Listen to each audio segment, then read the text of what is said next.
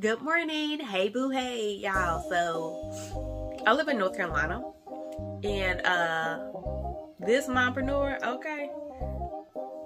Let's pause back up. Good morning. Hey boo hey.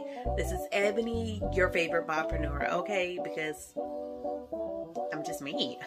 Um, no, um, all jokes aside, I am a mompreneur. Okay, so with me being a mompreneur and this weather changing, baby, we gotta take care of this household. Okay, so with taking care of this household, I'm making my own elderberry syrup.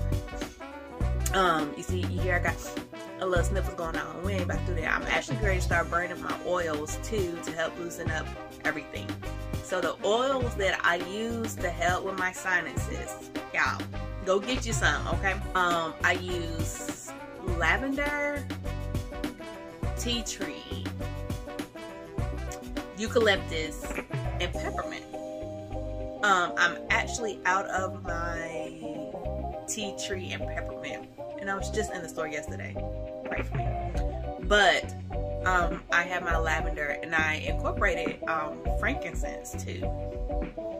But um, yeah I have those oils going right now. And back to this elderberry syrup. Okay.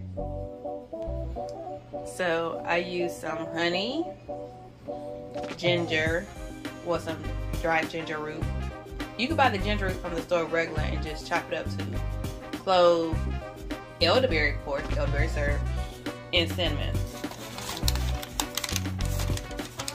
I mean, personally, I try to get everything from deep root. Y'all know that's my little stuff for my bean salad.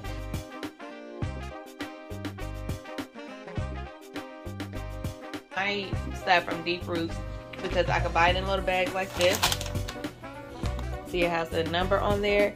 And then it's like a dollar sixty-eight per pound, I think. But anywho, I normally spend about um, 50 cent to a dollar on getting certain items.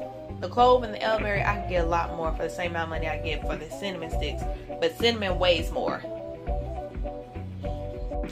Alright, y'all, so the reason why I use the products, well, not the products, the herbs that I use to make my elderberry tea to serve. So you use local honey because the local honey helps with your allergies because it helps build up the immunity to your allergies that, you know, that's local. Okay ginger root, ginger period. Okay. Um, I don't know if your grandma and them have ever said, uh, just drink some ginger ale and lay down. But it was some truth to that. The truth to that is the fact that ginger is it has so many healing properties for the body. All right, so let me just interject real quick, okay? So the benefits of ginger is amazing. So yeah, I had to research and write it down for you so I can make sure I tell you right. Okay. But the benefits of ginger is anti-inflammatory, antioxidant, which means it helps decrease wrinkles. Okay. It reduces nausea. It helps with weight loss.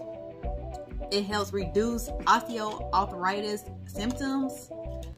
Let me see. It's an anti-diabetic. It has anti-diabetic properties. It's shown to lower blood sugar.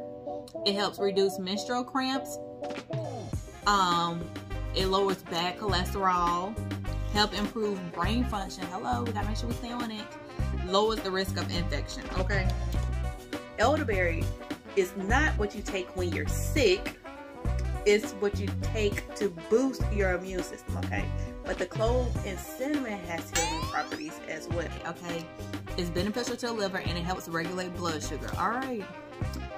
It's uh, antioxidant once again. You know what I'm saying? Take care of that skin. All right, take care of that body, Get rid of those free radicals. The benefits of cinnamon.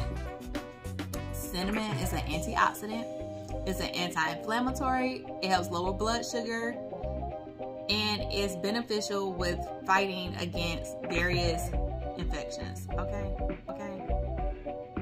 It is cold and flu season, people. We need that, okay? And it's antiviral. That means it's going to help against any viral infection. So, and with boosting the immune system, oh, we in there. We in there. I don't need to know all the properties, okay? Um, I don't need know all the benefits, okay? So I just try not to sneeze, cough too many times around folks, okay? Especially when I'm doing hair and makeup. But this is everything boiling together. You see the turmeric in there, and I do have a little bit of ground pepper mixed in with my turmeric. Um, I don't know if you can really see it in there. Oh yeah, those little black specks.